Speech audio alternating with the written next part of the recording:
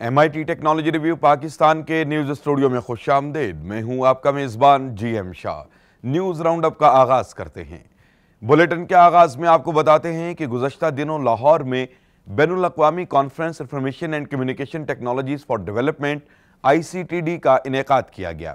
اس conference کی میزبانی information technology university Punjab نے کی، جہاں دنیا بھر سے آئے ہوئے ریسرچرز اور پریکٹیشنرز نے اپنے کام کو پیش کیا۔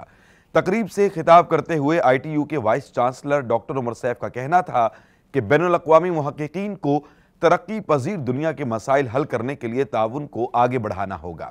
انہوں نے مزید کہا کہ آئی سی ٹی ڈی کی نویں آئی ٹی کانفرنس پاکستان میں اپنی نوعیت کی پہلی کانفرنس ہے، جس نے پاکستان کو ٹیکنالوجی کی دنیا میں سرخرو کیا ہے۔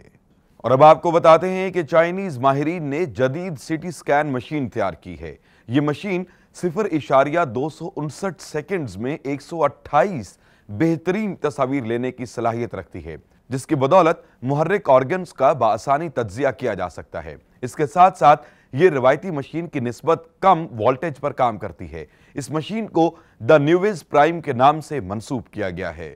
اور اب بولٹن کے آخر میں آپ کو بتاتے ہیں کہ برطانوی ماہرین نے نیا جیٹ سوٹ تیار کیا ہے۔ اس سوٹ کے ذریعے بتیس میل فی گھنٹہ کی رفتار سے اڑا جا سکتا ہے، جبکہ اسے پہننے والا اپنے جسم کی حرکت سے اسے کنٹرول کر سکتا ہے۔ اس سوٹ میں چار انجنز نصب کیے گئے ہیں، جن کو ایک خاص قسم کے ایندھن سے توانائی دی جاتی ہے۔ فی الحال اس سوٹ کو فیلڈ میں آزمایا جا رہا ہے۔ اس کے ساتھ ہی M I T technology review Pakistan کے نیوز اسٹوڈیو سے اپنے میزبان جی ایم شاہ کو اجازت دیجیے اللہ نگبان